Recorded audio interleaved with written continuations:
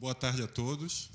É uma imensa alegria apresentar ah, uma das minhas no, da minha uma nova colega minha, a Luna Lomona, que vai nos contar um pouco sobre como combinar mapas quadráticos com o grupo modular.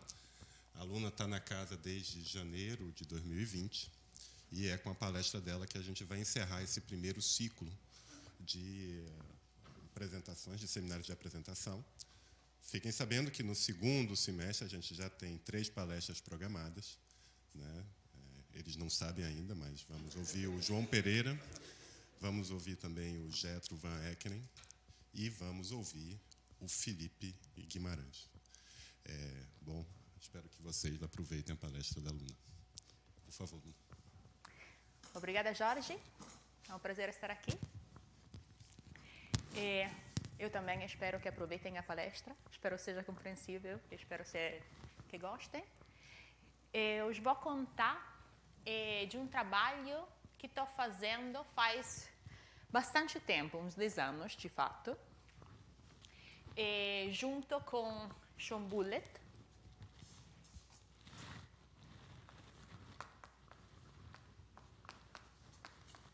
E ele, de fato, está trabalhando nisso faz 30 anos, bem mais que eu. E, nesse trabalho a gente tenta combinar dois mundos diferentes. O mundo da iteração de mapas racionais, holomorfos, na esfera de Riemann, e o mundo eh, dos grupos kleinianos, em particular do grupo modular. Então, estamos tentando combinar dois mundos diferentes num objeto novo, cruzando ele. Então, eu vou contar um, antes um pouquinho de mapas racionais, e depois de grupos, e depois de como combinar esses dois mundinhos. Tá bom?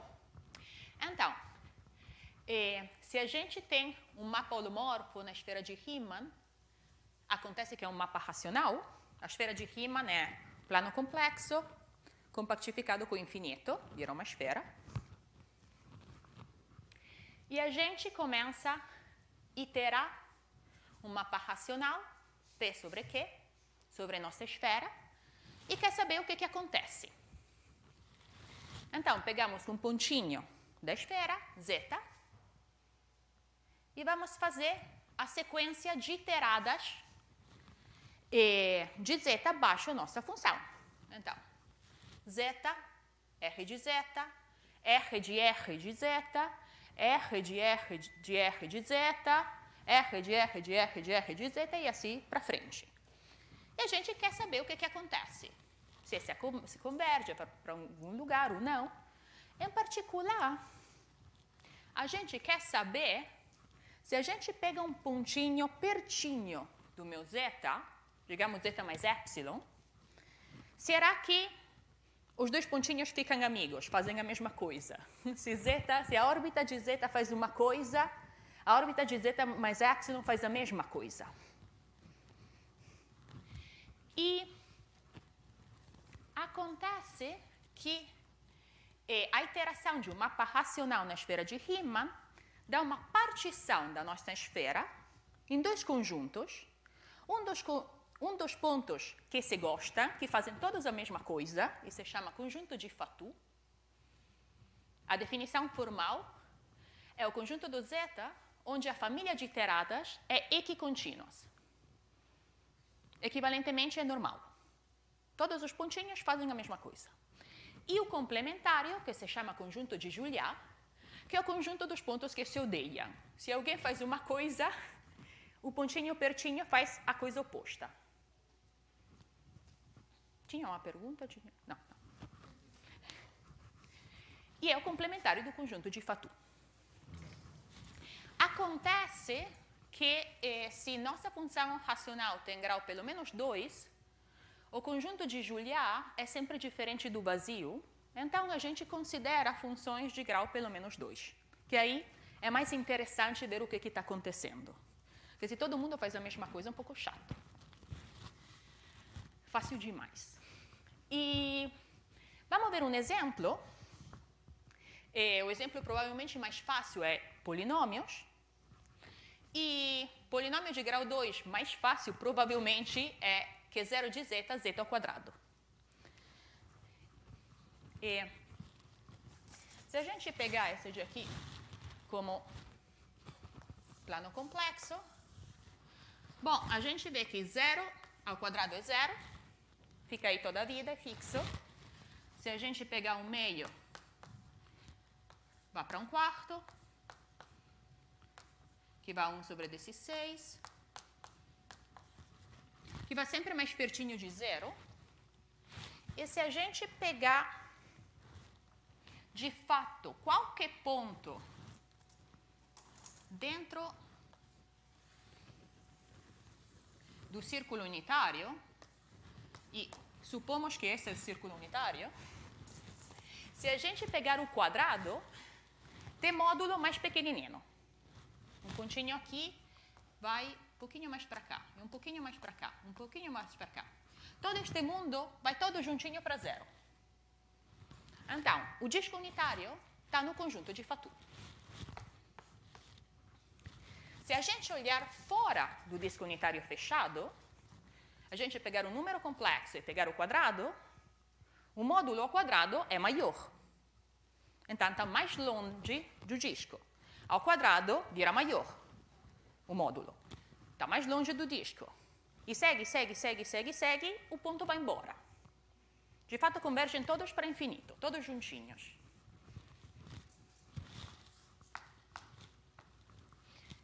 Então, é, o complementário do disco é, unitário fechado também faz parte do conjunto de Fatou. O conjunto de Juliá é o círculo unitário. Se a gente pegar um entorno de qualquer ponto do círculo unitário, pegamos um entorno de 1, a gente vê que ninguém nessa, é, nessa vizinhança se gosta. 1 está fixo, 1 ao quadrado é 1. Se a gente pegar 1 menos epsilon, ele vai embora para zero. Se a gente pegar 1 mais epsilon, ele vai embora para infinito. Se, ele, se, a gente pegar um ponto no círculo com argumento racional,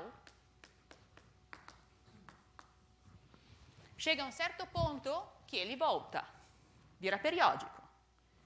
Se a gente pega um ponto no círculo com argumento irracional,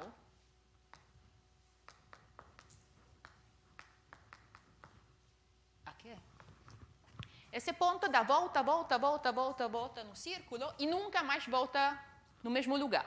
Então ninguém se gosta nessa vizinhança, todo mundo se odeia. E o círculo unitário é o conjunto de Juliá.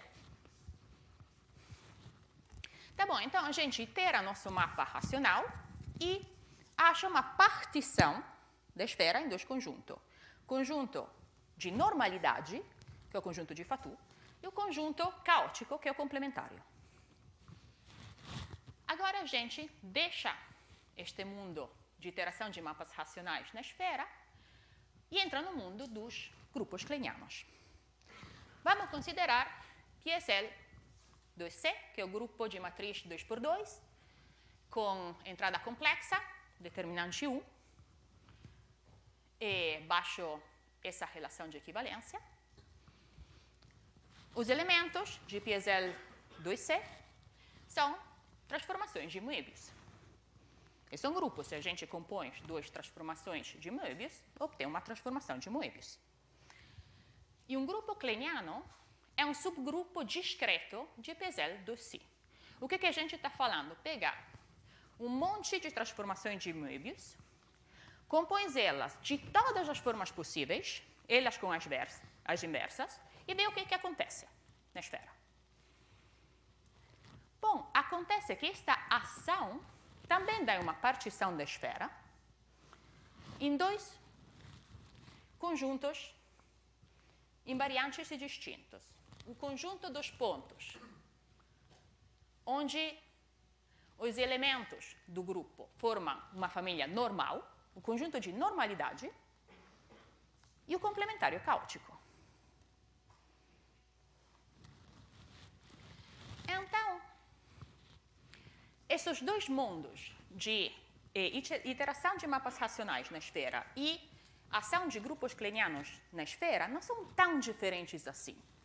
Pois se a gente considera ação de mapas racionais e ação de grupos kleinianos, e os dois iterando dão uma partição da esfera em dois conjuntos, o conjunto de normalidade e o complementário. No caso de mapas racionais, o eh, conjunto de, eh, de, normalidade se chama conjunto de Fatou. E no caso dos grupos kleinianos, se chama eh, conjunto ordinário. Ordinary set. E o complementário, caótico, no caso de mapas racionais, chama-se de conjunto de Juliá. E no caso de grupos kleinianos, se chama conjunto limite. E estas similaridades, similitudes, si, coisas parecidas, eh, foram percebidas já por Fatou eh, mais ou menos um século atrás. Eh, quando ele começou a falar, ó, oh, essas duas teorias não são tão diferentes assim. Deveria existir uma teoria que para unificar estes dois mundos. E depois, um, 60 anos depois, Sullivan começou a escrever um dicionário entre estes dois mundos, eh, colocando os vários paralelismos. Estes dois são as primeiras entradas. E começando também a tomar ideias de um mundo e trazê-la para o outro. Em particular, Sullivan demonstrou no Wandering Domain Theorem, que, é, é, que diz que se você tem um mapa racional na esfera, todas as é, pega as componentes de Fatou, chega um momento que volta, não vão embora, tomando ideias do teorema de finitude de Alford. E tem um monte de paralelismos nestes dois mundos. Coisas que acontecem em um, que acontecem também do outro, não iguais, mas parecidas e papapá. Então a gente se pergunta: ó, oh, dá para combinar esses dois mundos? Dá para unificar as duas coisas? Bom, acontece que um mapa não é um grupo e um grupo não é um mapa. Então, se a gente quiser unificar as duas coisas, pelo menos precisa achar um objeto que possa ser os dois, certo? E aí vamos sair do mundo de mapa, mundo de grupos, e entramos no mundo das correspondências holomorfas. O que é uma correspondência holomorfa? Uma correspondência holomorfa é um mapa multivalorado da esfera-esfera, que é definido pelos zeros de um polinômio. Então, do que, que eu estou falando. A gente pega um polinômio, e zw, pega os zeros, e, com variáveis complexas, os dois, e isso me dá uma superfície algébrica.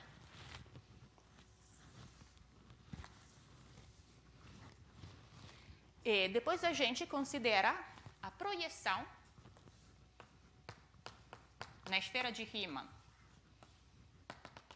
onde mora zero, zeta, a projeção na esfera de Riemann, onde mora W, e a correspondência é o objeto que associa o zeta aos W. Então, digamos que meu polinômio tem grau 2 em Z e em W, simplesmente para fixar as ideias. Então, para todo Z aqui, tem dois W aqui em cima que matam meu polinômio. Essas são as imagens. E para todo W aqui, tem dois zetas aqui em cima que matam o polinômio. São a pré-imagem. E você começa a iterar essa coisa. A terceira iterada chora, porque é uma zona. aconteceu? Desculpem, tecnologia. É, então, por que eu estou contando isso de aqui? Porque acontece que a gente pode escrever é, mapas racionais e grupos kleinianos como correspondência holomorfas. Se a gente tem um mapa de grau n, a gente pode escrever isso como uma correspondência n a 1, pegando o polinômio pzw, sendo w q de z menos p de z. E se a gente tiver um grupo kleiniano com geradores, esses de aqui, a gente, digamos, grupo kleiniano com N geradores, a gente pode escrever isso como correspondência pegando o polinômio que mata os N geradores. É dizer, se se esse grupo tivesse 45 geradores, isso de aqui se escreve como correspondência 45 a 45, tomando o produto de J que vai de 1 a 45, de W menos isso que multiplica isso de aqui menos isso de aqui, não me façam pronunciar, por favor, leia, obrigada. Matando todos eh, meus mapas de Moebius que eh, me compõem meu grupo. Então, uma correspondência pode ser um grupo kleiniano e pode ser um mapa. Será que pode ser as duas coisas ao mesmo tempo? E essa é a pergunta que a gente tenta resolver. E, de forma mais precisa, se diz: podemos cruzar um grupo kleiniano e um mapa numa correspondência? E a gente fala de cruzamentos. E de forma pouco grossa, um cruzamento entre objeto A e objeto B é um objeto C que atua como A num subconjunto invariante do domínio e como B no complementário. E a pergunta de antes é: podemos cruzar um mapa racional e um grupo kleiniano numa correspondência? E por que a gente queria fazer, quer fazer de aqui? Bom, porque se dá para fazer, isso seria um, um, exemplo concreto de como estes dois mundos não só têm paralelismo, mas chegam junto mesmo. Tem algo que pode ser os dois ao mesmo tempo. Se tocam concretamente. Então, a gente não vai cruzar todos os mapas racionais com todos os grupos kleinianos, seria demais. Vamos nos limitar em coisas mais fáceis. Pegamos o grupo kleiniano mais, bom, mais fácil, pelo menos mais conhecido. Provavelmente, opa, desculpem, é o grupo modular. O grupo modular é PSL 2Z.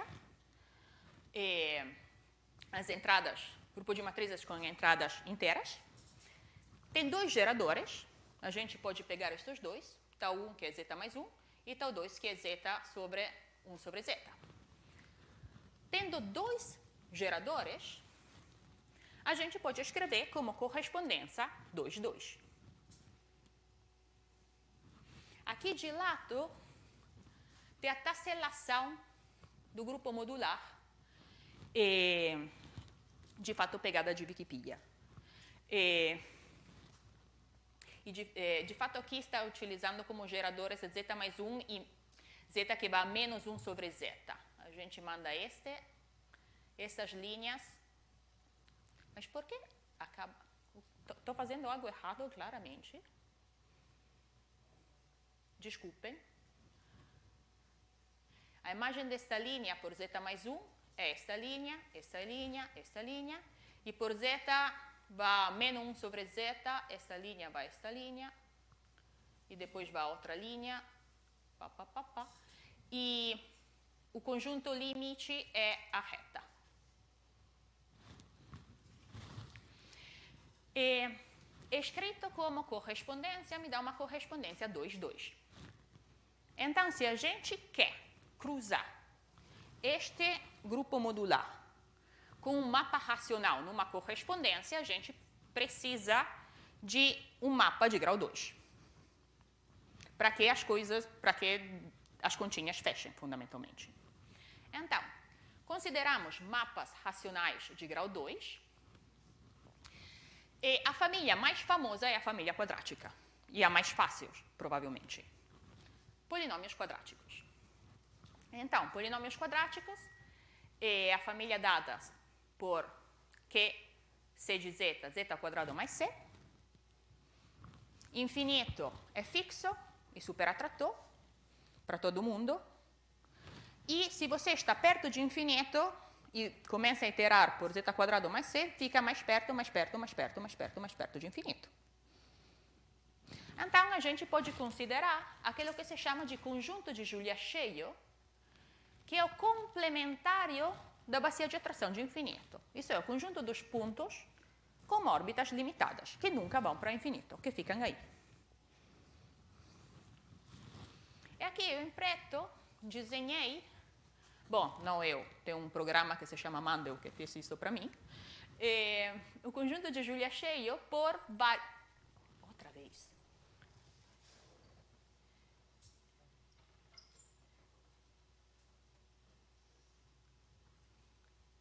Eu prometo que estou tocando esse de aqui e esse de aqui, não sei o que está acontecendo. É, mas, enfim.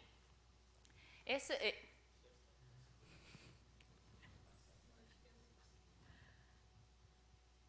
Dai, per favore.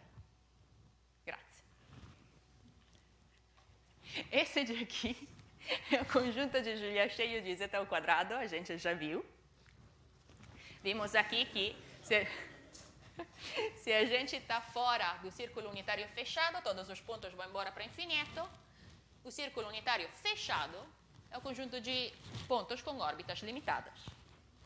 Aqui consideramos esse de aqui é o conjunto de Julia cheio por z quadrado mais um quarto. E esse de aqui por z quadrado mais um quarto mais epsilon. A primeira coisa que se vê é que estes dois são conexos e esse de aqui é desconexo. De fato, é completamente desconexo, é um Cantor. Então, dá para considerar o conjunto de pontos, um conjunto de parâmetros C, tá ok? meu conjunto de Julia cheio seja conexo. E a gente chama de lugar de conexidade. Faz sentido. E o lugar de conexidade da família quadrática é o Mandelbrot. Esse cara de aqui. Esse é um conjunto de parâmetros. Para todo pontinho aqui, tem o conjunto de Julia cheio aqui. Aqui tem zero que mora aqui. Este parâmetro, que é um quarto, mora aqui. Epa, ali. Esse de aqui mora fora, justo um pouquinho fora. Tá bom? Então, é, no começo dos anos 90, Sean Bullet, junto com Chris Penrose, começaram a pensar, tá, dá para achar uma correspondência dos dois que atue como grupo modular num aberto e como um mapa quadrático, digamos, um polinômio, no complementário. Bom, como um polinômio por um lado e o inverso de um polinômio para o outro. A gente precisa é, tomar cuidado porque precisamos que todo ponto tenha duas imagens e duas pré-imagens. Então, construíram uma família de correspondências para que esta família atue como grupo modular, num aberto, e como mapas quadráticos no complemento. E deu esta família de aqui.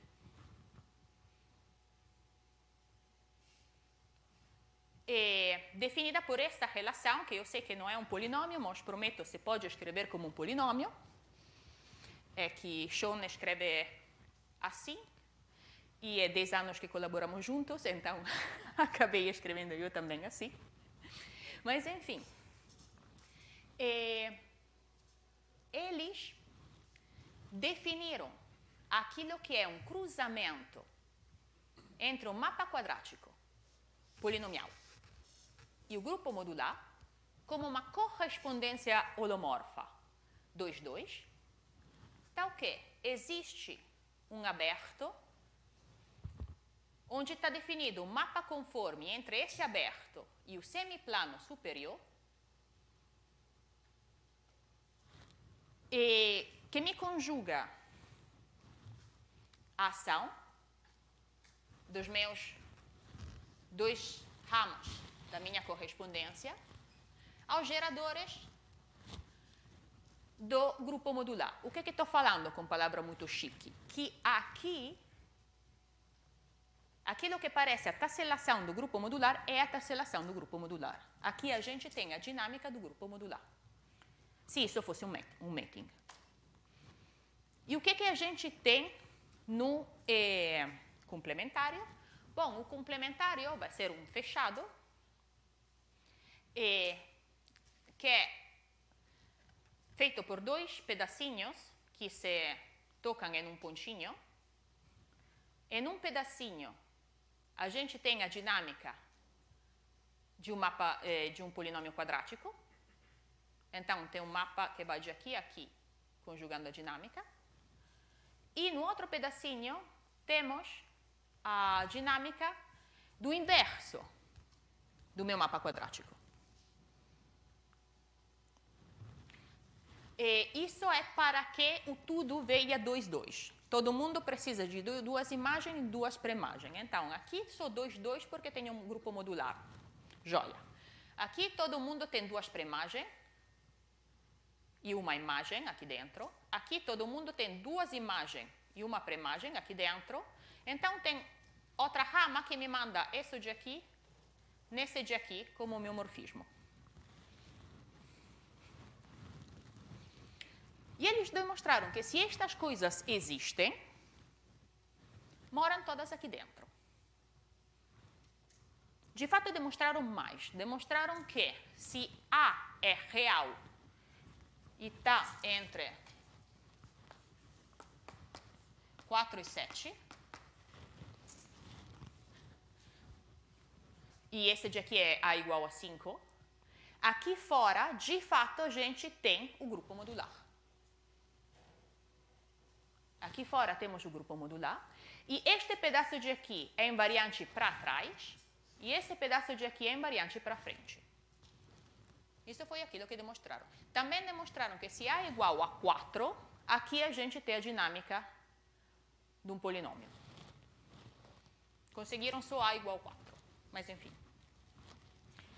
Eu não vou explicar a vocês como construíram esta família, eu tentei explicar ontem no seminário de dinâmica e já foi duro bastante para quem estava aí.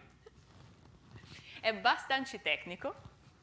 Vem de como está feito o grupo modular, fundamentalmente. Mas eu vou dizer que, por construção, é, toda esta correspondência tem um disco que é invariante para frente e o complementário é invariante para trás. O que estou dizendo? Nesse, eh, nesse caso, o disco é o semiplano. Essa aqui é esquerda ou direita? Bom, bom depende como eu. Bom, esse, esse é semiplano de aqui. A imagem, ambas as ramas da minha correspondência me mandam este eh, semiplano nele mesmo. De fato, esta reta a reta imaginária tem como imagem esta reta de aqui e essa, que não é uma reta, mas tudo bem, e essa curva de aqui. E, e a imagem vai ser isto, e isto, e isto, e isto. Então, todo mundo aqui vai ter duas imagens aqui dentro. E o complementário é variante para trás. O que, que quero dizer? Quero dizer que as pré-imagens dessa reta são esta curva e esta curva. E aqui dentro, minha correspondência atua de fato como um mapa de grau 2, mandando isto de aqui a todo isto de aqui. E depois tem outra rama que me manda isso de aqui, nisso de aqui. Então, a gente pode definir conjuntos limites. O conjunto limite para frente, que é a interseção das iteradas deste semiplano, e o conjunto limite para trás, que é a interseção das pré-imagens desse semiplano. A união dos dois é o conjunto limite. E por construção, minha dinâmica aqui está entrando e aqui está saindo. Então, este ponto de interseção é um ponto fixo parabólico para todo mundo. Tem uma direção. É, um ponto fixo parabólico é um ponto fixo que tem uma direção atratora e uma direção repulsora. Pelo menos. Pode ter 45 direções atratoras e 45 direções repulsoras, mas nesse caso é, consideramos uma só. E aqui a gente tem uma direção atratora, pois a minha dinâmica está entrando, a imagem desse de aqui é esse de aqui, que é esse de aqui, e pá, pá, pá, pá, pá, estou indo para cá, e aqui eu estou saindo. A imagem desse conjunto de aqui é todo semiplano. Estou indo embora.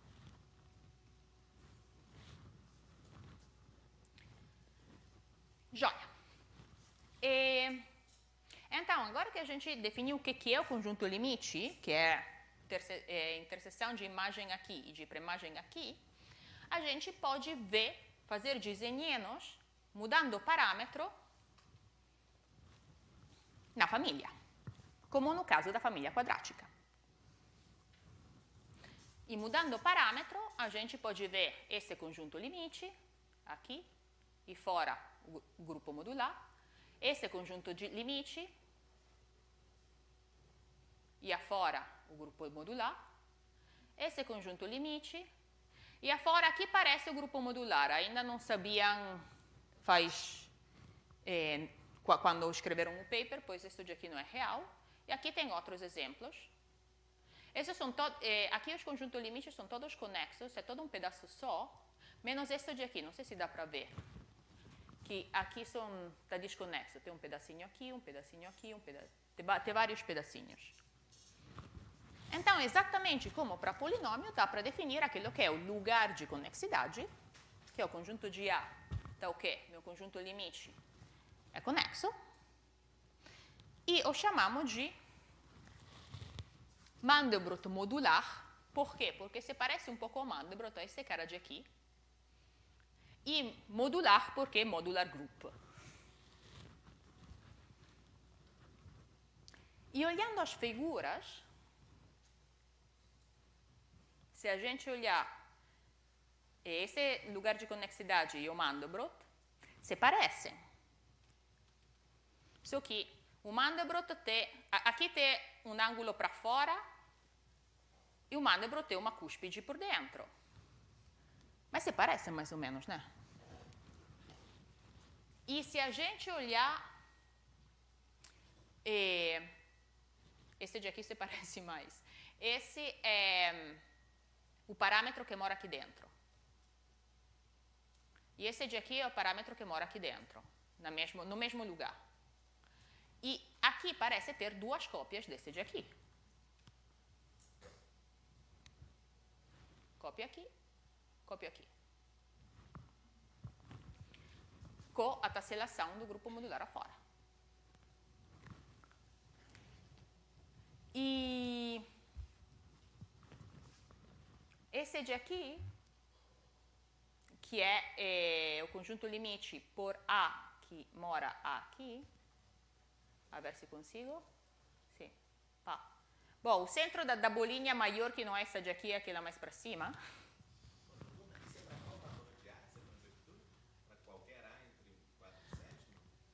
É para é, todo A nesse cara de aqui. Desculpa. Para todo A em, é, nesse conjunto de Mandelbrot modular. Ai, desculpa, me comi o para todo A com batatas, mas era para todas, desculpa. É, esse de aqui é o centro desse de aqui, e aqui parece ter duas cópias desse de aqui. Então, aquilo que conjeturaram é que para todo A nesse conjunto, esse é, correspondência é de fato um cruzamento entre o grupo modular para fora e um polinômio quadrático por dentro. Polinômio quadrático aqui e sua inversa para aqui. E que, já que estamos, meu lugar de conexidade é homeomorfo ao meu conjunto de Mandelbrot. Olhando as figuras, faz sentido conjeturar isso de aqui.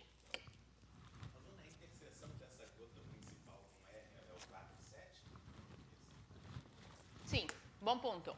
A interseção, é a reta aqui, a ver se consigo. Isso de aqui. É, isso de aqui é 7 e isso de aqui é 4. Aí. Então, aquilo que eles demonstraram é que entre que na reta real, afora você tem o grupo modular. E adentro você tem que aqui Aqui dentro tem um mapa de grau 2 e aqui dentro você tem a primagem de um mapa, do mesmo mapa de grau 2. Isso é aquilo que demonstraram. E por A igual 4, a conjetura funciona. É aquilo que eles tinham. No 94, isso. Depois o que, que aconteceu? Aconteceu que Sean trabalhou nisso de aqui por uns 20 anos. E trabalhou com Harvey, trabalhou com Ensiski, trabalhou com outras pessoas e demonstraram que, de fato, estes objetos estranhos são cruzamentos entre o grupo modular e polinômios quadráticos por um monte de polinômios quadráticos. Isso acontece por um monte de polinômios. Só que eles não conseguiram levar para casa todos os polinômios. Por quê? Porque todos esses resultados foram demonstrados da, da mesma forma perturbativa. E a gente falou antes que se temos um polinômio de grau 2, digamos aqui, a gente tem infinito, que é superatrator, e meu conjunto de Julia cheio, que deveria ser aquilo que a gente vê aí, é o conjunto de pontos com órbitas limitadas. Então, digamos, sei lá. Então, fora do meu conjunto de Julia cheio, todos os pontinhos vão para infinito. Em particular, se eu pego uma vizinhança do meu conjunto de Julia cheio e olho a premagem, a premagem está contida. Por quê? Porque perto do conjunto de Julia cheia, minha, meu polinômio está fazendo pá, tá. Todo mundo está indo embora para infinito. Aqui não é aquilo que acontece. Por quê? Porque tem o ponto parabólico que nos complica a vida. Aqui, essas duas linhas, estas duas curvas, estão enviadas nesta curva de aqui. E aqui minha, minha dinâmica está expandendo, mas aqui está entrando. E não é, polinômios não fazem isso. Então, o que, que eles fizeram? Mas, tipo, tá joia. Então, a gente perturba a família, muda a família para destruir o ponto parabólico, para ter dois pontos repulsores, demonstra que aqui dentro tem polinômio e volta para trás. E, tipo, tá bom, você pode fazer isso por um, dois, três, quatro, cinco, seis, sete, oito vezes, mas todo o mundo na minha família tem um ponto fixo parabólico.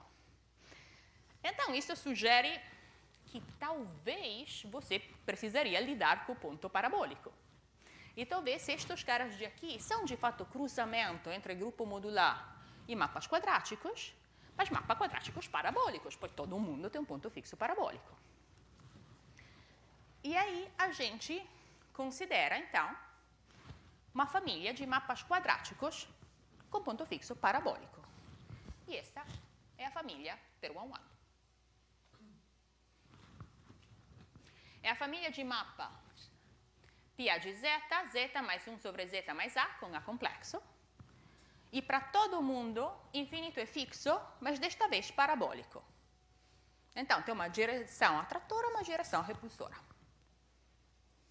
E a gente pode considerar, pode definir conjunto de Julia cheio exatamente da mesma forma que para polinômios, o conjunto dos pontos que não vão para infinito, com órbita limitada. E dá para desenhar. Aqui, infinito é este pontinho de aqui, é, bom, esse de aqui está muito colorido, vamos ver esse de aqui. Infinito é esse de aqui, e todo o vermelho é a bacia de atração de infinito. Todos estes pontos estão indo para infinito. Os pontos pretos não estão indo para infinito. O conjunto de Julia cheio. E aqui outro exemplo, em preto são os pontos que não vão para infinito baixo iteração. E em vermelho são os pontos que vão infinito, bacia de atração.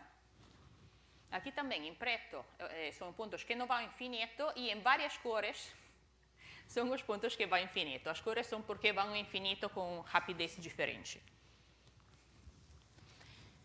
E aí também, eu, estes três que desenhei aqui, os três são conexos, como o conjunto de Julia cheio, mas eu os prometo, existem desconexos. E aí também, então, dá para definir o lugar de conexidade. Conjunto de parâmetros, tá ok. Meu conjunto de Julia cheio é conexo. Desculpa, Luna. Sim. Eu estou meio perdido. É, essa aplicação PDA não é uma transformação de Möbius? É, não. Se você escrever isso de aqui como t grau 2, você bota zeta por baixo, ah, vira zeta ao quadrado. Sobre z. Sim. Ah, é z mais 1 sobre z. Não, não, não, não, não, não, não. Zeta mais 1 sobre z mais a. Se você quiser escrever, vira zeta ao quadrado mais 1 mais a zeta sobre zeta.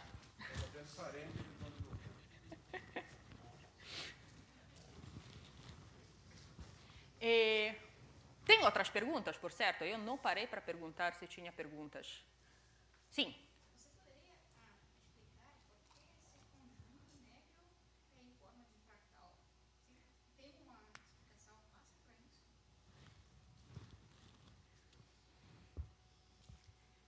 fácil. Tem uma explicação para isso.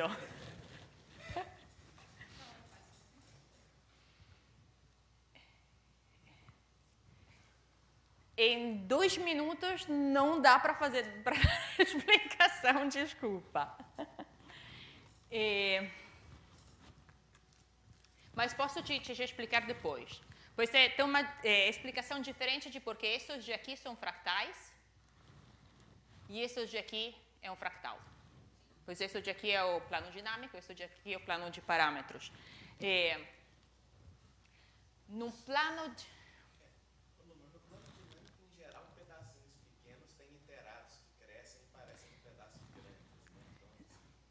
Tá. É, o conjunto de Julia, que é a fronteira do preto, aí a, é, esse de aqui que é um, é um, fractal. E se você olhar a fronteira, agora eu não consigo desenhar a fronteira, mas enfim, tô, tô, tudo aquilo que tá, seria assim, né?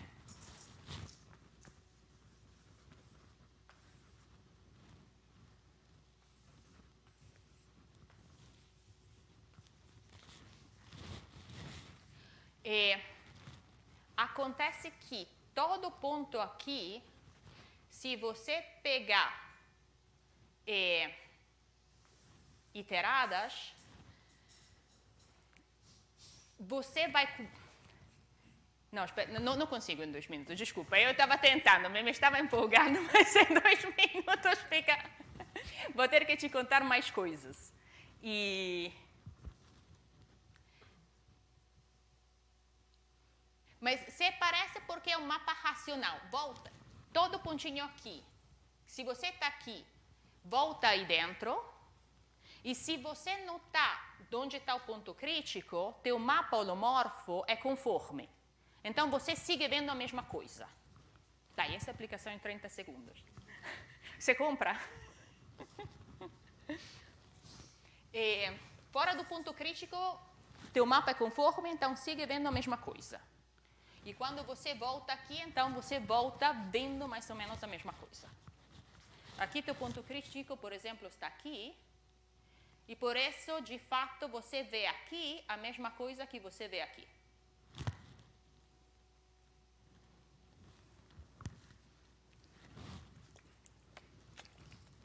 Tem outras perguntas? Joia. Tá bom, o que que estava falando? Tá, que estes caras de aqui, é, em preto, a gente vê o complementário da bacia de atração de infinito, e, e a gente pode considerar o conjunto dos parâmetros A, o que? Este preto é um pedaço só, é conexo.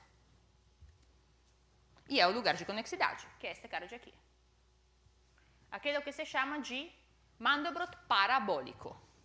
Por quê? Porque é, se aparece o Mandelbrot, e de fato é o meu morfo Mandelbrot, é um resultado recente de Carsten Petersen e Pascal Rocha, é, mas é sobre uma família com ponto fixo parabólico. Todo mundo aqui dentro tem infinito parabólico, que é esse de aqui. Tá bom, então o que, que a gente fez? A gente definiu um cruzamento entre um desses mapas quadráticos parabólicos e o grupo modular para ser uma correspondência 2-2. Tá o quê? Numa aberto, a dinâmica é a mesma dinâmica de, do grupo modular, E por dentro, a gente tem a dinâmica do meu mapa parabólico. De fato, aqui é conjugado a meu mapa parabólico numa vizinhança do conjunto de Julia cheio. Aqui. Aqui, de fato, a gente tem o inverso do meu conjunto de Julia cheio. É por como construíram estas coisas que aqui você tem o inverso desse aqui. E o que, que a gente demonstrou? A gente demonstrou, por fim, que para todo mundo, no meu lugar de conexidade, que era esse lindo, lindo cara, epa, aqui, todo mundo aqui,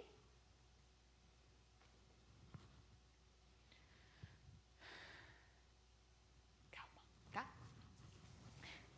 E, minha correspondência é um cruzamento entre o grupo modular e mapas quadráticos dessa família. Depois, a gente, já que estava, eh, deu toda uma teoria dinâmica para essa família.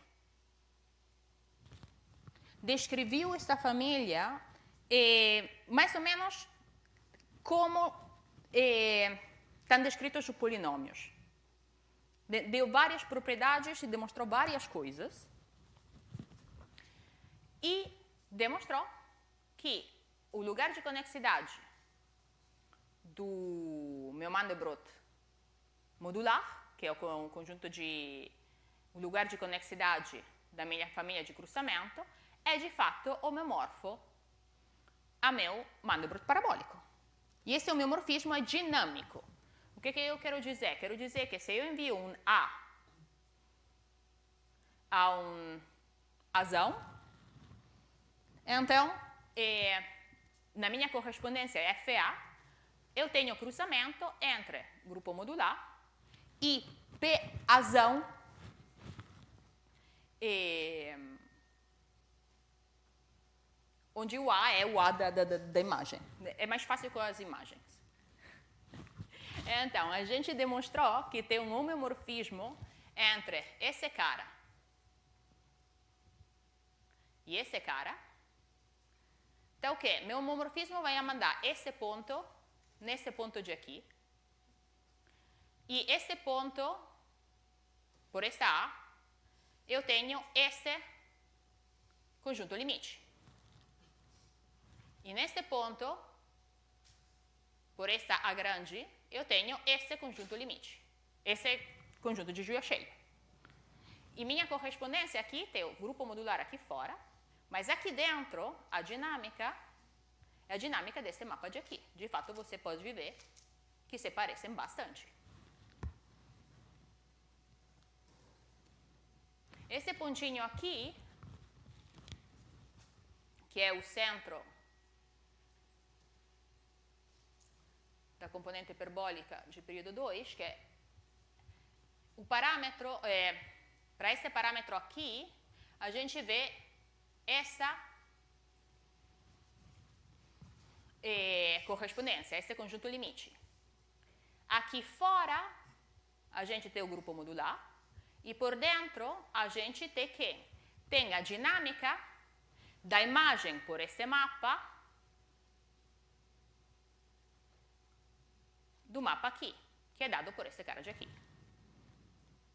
De fato, aqui a gente vê duas cópias desse cara de aqui. Pá e pá.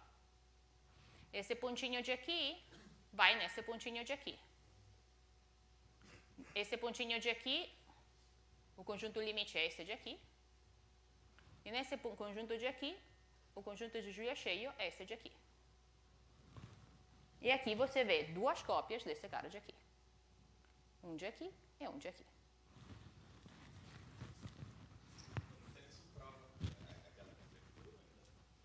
E sim, de fato sim, porque é, Bom, tem duas coisas. Primeiro, a conjectura não fazia muito sentido porque era para lidar com mapas parabólicos diretamente.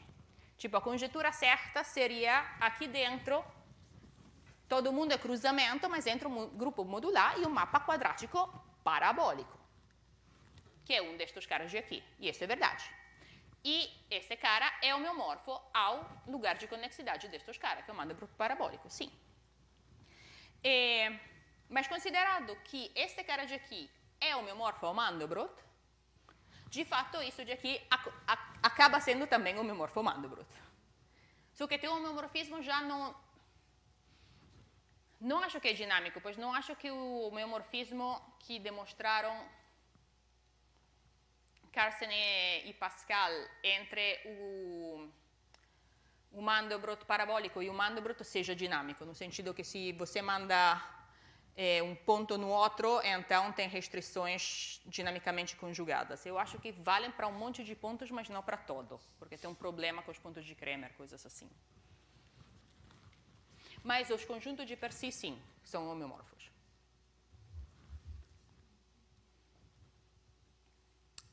E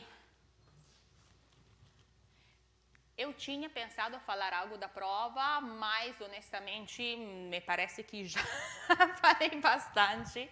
E. Ah, não, só isso eu queria dizer. Que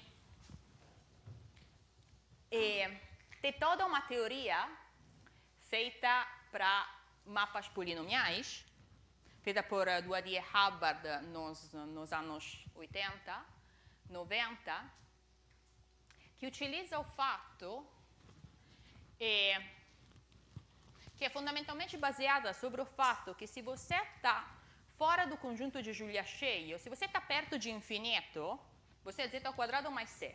Se você está perto de infinito, mais c não é importante.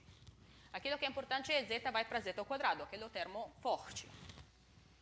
E de fato tem um mapa que te tem uma conjugação que te diz que a tua dinâmica fora do conjunto de Julia cheio é a dinâmica do mapa zeta vá para zeta ao quadrado, que é o termo forte.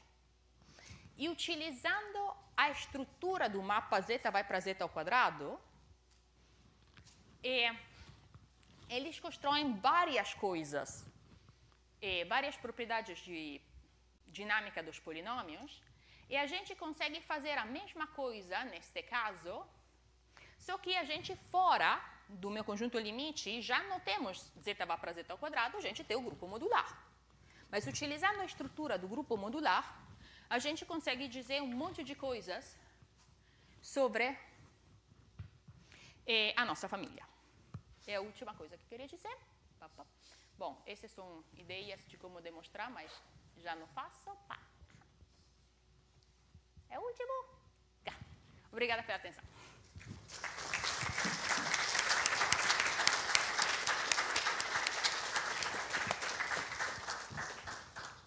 Muito obrigado, Luna, pela bela palestra. Eu tenho uma pergunta ingênua, não sou, não conheço muito a área, mas no início você mencionou dois teoremas que parecem ser fundamentais no estudo de aplicações racionais e no estudo de grupos kleinianos, né? O teorema de finitude de Alford e de Sullivan. Tem um teorema de finitude parecido no caso de correspondências? Não. E não acho que. O fato é que estas correspondências particulares fora é uma família só que foi cucapa seria cozinhada, mas provavelmente não se diz assim em português, foi criada para que eh, tivesse esses conjuntos limites feito de um, uma coisa de uma determinada forma. Mas no geral, você ter teu ponto que vai para dois pontos que vai para dois pontos, que vai para dois pontos, que vai para dois pontos, que vai para. Isso nem necessariamente tem um conjunto limite. Então, menos, ainda menos, é, algo que necessariamente voltaria de forma finita, coisas assim. É, tem é, é, dinâmica bastante bizarra eh, no mundo das correspondências.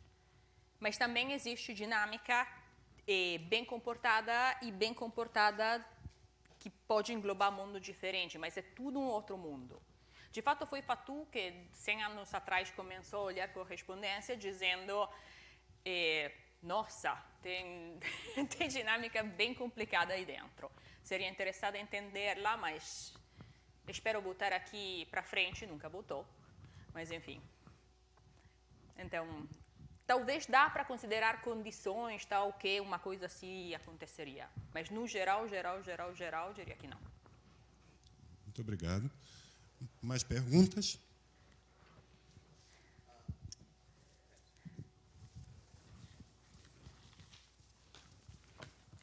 Obrigado.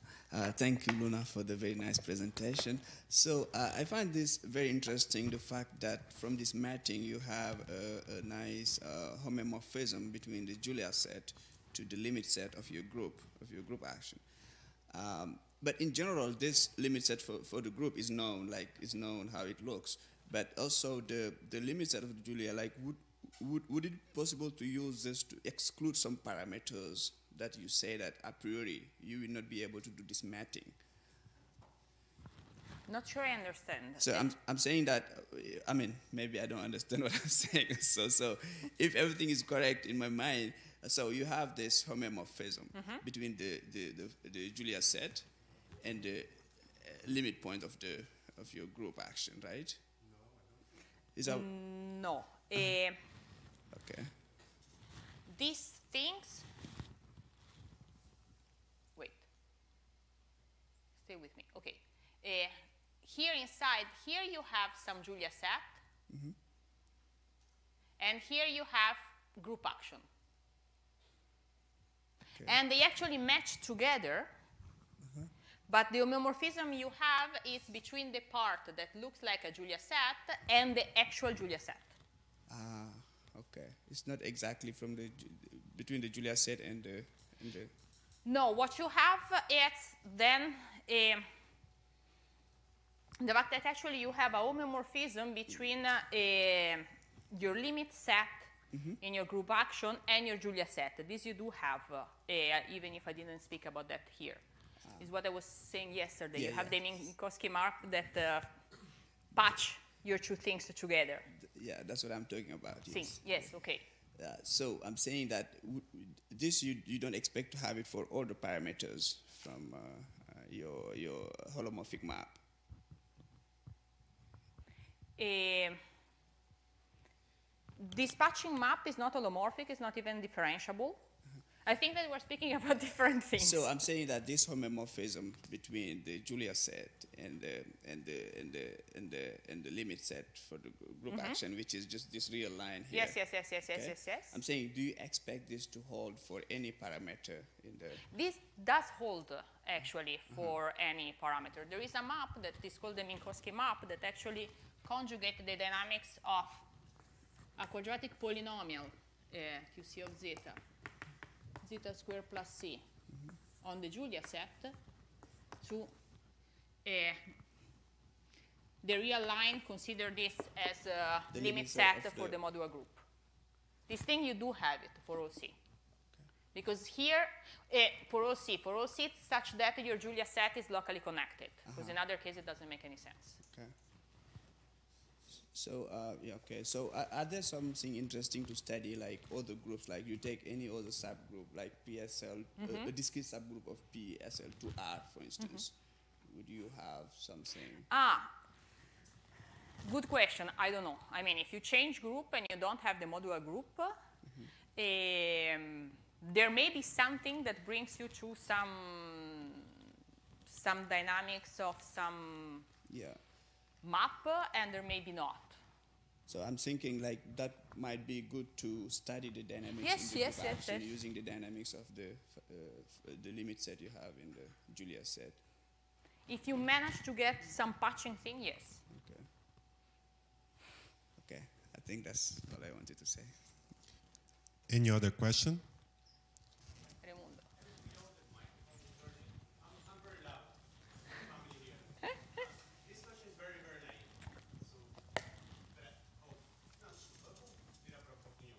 Tranquilo.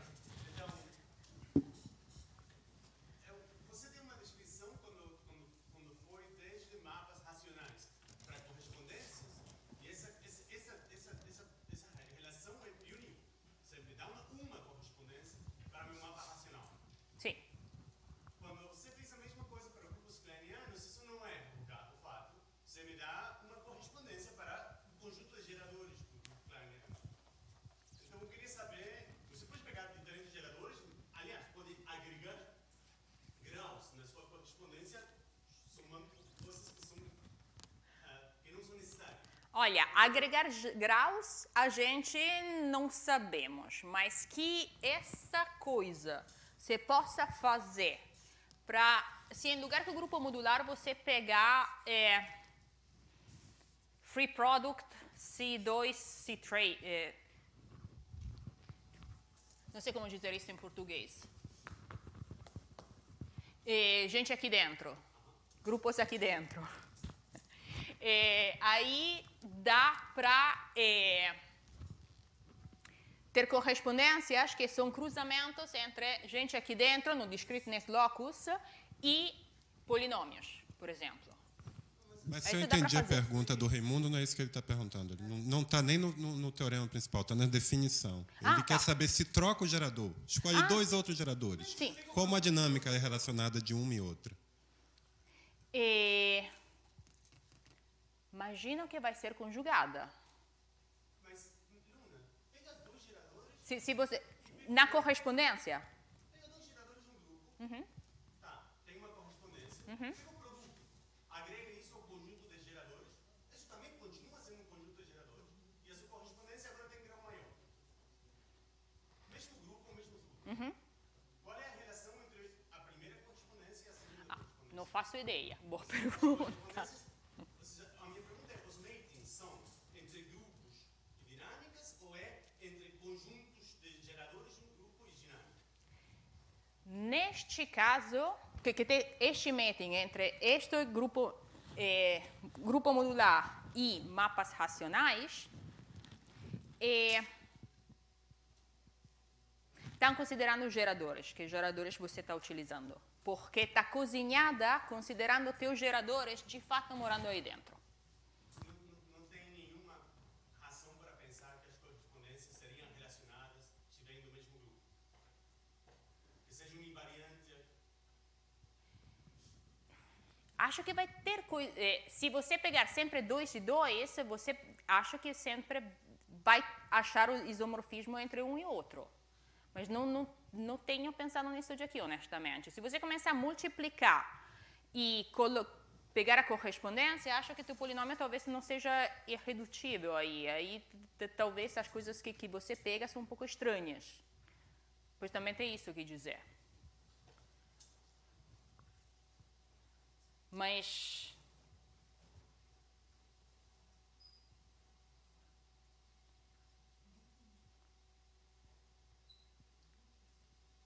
a cara seria diferente, mas imagina teria um, uma mudança de coordenadas. Mas estou chutando, não fiz a continha, honestamente, Raimundo, por ser honesta. Trabalhei com esta família, de fato. Mais alguma pergunta para a Luna?